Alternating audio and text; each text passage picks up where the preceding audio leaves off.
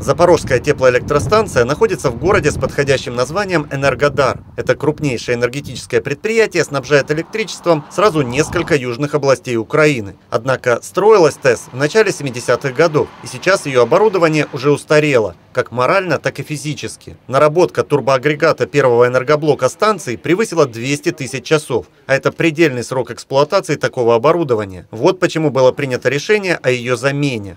Уникальность реконструкции заключается в том, что раньше в Украине только ремонтировали турбины теплоэлектростанций, а вот на Запорожской ТЭЦ провели полную замену всего оборудования энергоблока.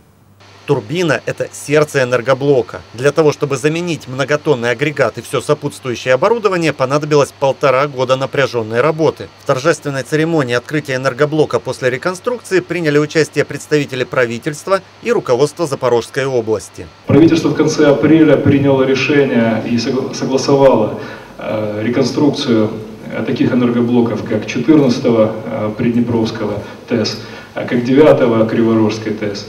Э, ряда других объектов. То есть мы взяли курс на модернизацию энергетики. И очень примечательно то, что отметил э, Сергей Михайлович, что э, мы в основном вкладываем эти инвестиции в наши собственные предприятия. А значит, создаем рабочие места, значит, платим налоги, платим рабочую зарплату, пенсионный фонд, значит, деньги остаются в стране. Действительно, практически все новое оборудование было изготовлено украинскими предприятиями, а работы по его установке и наладке выполнили донецкие специалисты. Поскольку новая турбина имела другие геометрические размеры, при ее установке пришлось заменить более 100 тонн пара и прочих трубопроводов, а в процессе модернизации были задействованы около 30 предприятий энергетического сектора Украины. Каждый день в процессе выполнения работ мы сталкивались с какими-то трудностями, с какими-то новшествами. Приходилось принимать э, технические решения, какие-то привлекать и проектные институты, и различные организации для их принятия. И заводы, производители оборудования, тот же Турбоатом, постоянно были шеф-инженера, конструктора, все участвовали в этом процессе. В том числе и все ответственные компетентные службы заказчика. Все как бы помогали, разбирались, как бы для всех это все было новое. И все понимали, что, конечно, надо разобраться, чтобы впоследствии э, эксплуатировать нормально и надежно. Новая высокотехнологичная турбина позволит увеличить мощность энергоблока на 25 мегаватт. При этом снизится расход удельного топлива и в 6 раз уменьшится концентрация пыли в уходящих газах. Немаловажно и то, что основным топливом для нового энергоблока станет уголь, который добывается в Украине. Блок это э, угольный вот. Он использует наше сырье, украинское, которое добывается в Донбассе. Вот. Соответственно, мы тоже это безопасность Украины, экономика Украины ну, и независимость Украины. То есть это большой плюс, то есть как бы мы независимы не от э, сырья других государств. В процессе модернизации была также полностью изменена система управления новым энергоблоком. Она стала более автоматизированной. Ну и как цепь, естественно, блочная защита, отключение турбины, отключение котла, все автоматизировано.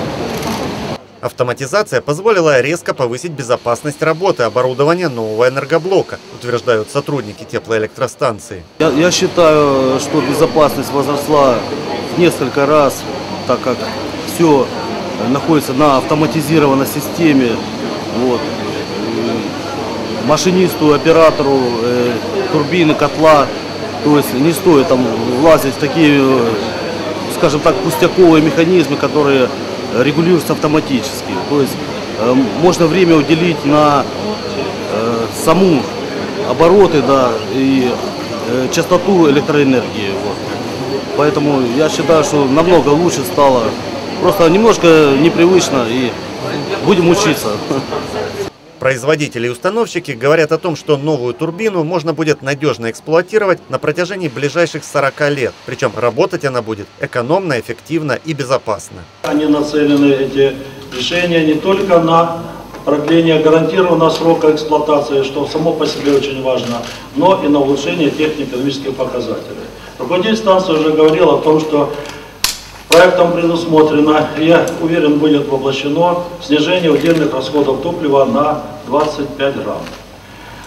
Э, проектом предусматривается снижение потребления газа, уголь газовой группы, горит и должен гореть, и будет в этом блоке гореть без подсветки.